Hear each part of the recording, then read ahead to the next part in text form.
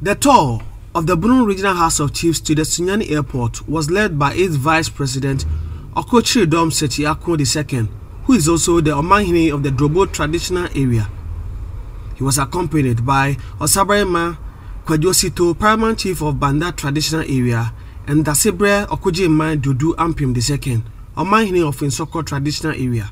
The tour was to offer the chiefs the opportunity to have first-hand information on the ongoing rehabilitation works at the facility.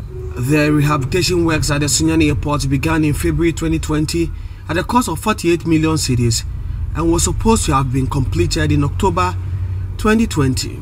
The rehabilitation works include the expansion of the runway and the construction of a fence wall.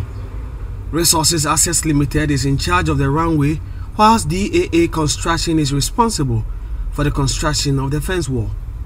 However, several timelines for the completion of the two projects have been missed. In addition to this, encroachment on the lands of the facility is a major challenge. However, the Bono Regional House of Chiefs has indicated what it will do to deal with people who have encroached on the airport lands. All those uh, authorities that were involved, traditional council, assembly, uh, individuals, uh, lands commission.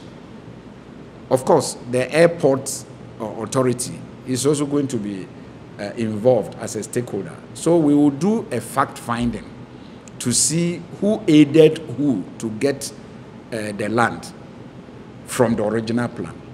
And mm, surely uh, we are going to bring pressure on everybody and punish those corporates uh, found guilty. Though the Bono Regional House of Chiefs was impressed with the quality of work done so far, they were not happy with the speed of work.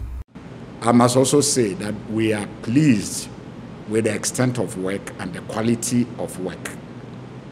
Uh, it is the timing that we had problem with, but they assured us, the contractor has assured us that within uh, two to three months, that is maximum by October, hopefully the project will be completed, the first phase will be completed and handed over.